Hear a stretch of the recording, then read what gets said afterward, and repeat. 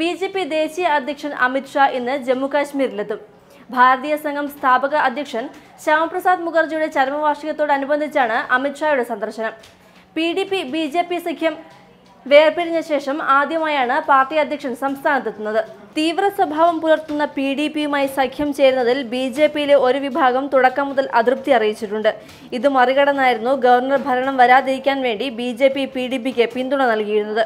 വരാനിരിക്കുന്ന ലോക്സഭാ തെരഞ്ഞെടുപ്പിൽ വിരുദ്ധ ചേരിയുമായി ഉണ്ടാക്കിയ കൂട്ടുകെട്ട് പാർട്ടിയുടെ ജനസമ്മതി കുറയ്ക്കുമെന്ന് ഉറപ്പായതോടെ ദേശീയ നേതൃത്വം തന്നെ നേരിട്ട് ഇടപെട്ട് മെഹബൂബ മുഫ്തി സർക്കാരിനെ താഴെയിറക്കുകയായിരുന്നു. പിന്നീട് പി ഡി പി വിഷയത്തിൽ കടുത്ത പ്രതിഷേധം രേഖപ്പെടുത്തുകയും ചെയ്തു. ഗവർണർ ഭരണം ഏർപ്പെടുത്തിയ ശേഷം ആദ്യമായിട്ടുള്ള ദേശീയ അധ്യക്ഷൻ അമിത്ഷായുടെ സന്ദർശനം രാഷ്ട്രീയ കോളിളക്കം സൃഷ്ടിക്കുമെന്നാണ് സൂചന.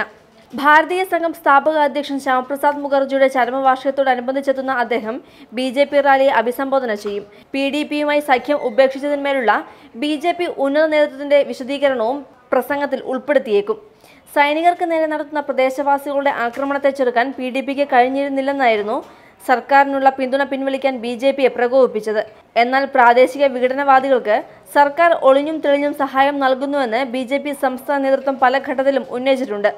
സഖ്യമുന്നണി അവസാനിപ്പിച്ച സാഹചര്യത്തിൽ പുതിയ തെരഞ്ഞെടുപ്പിനെ സ്വാഗതം ചെയ്യുകയാണ് പി ഡി പി നേതൃത്വം. National desk Marunadan Malayali.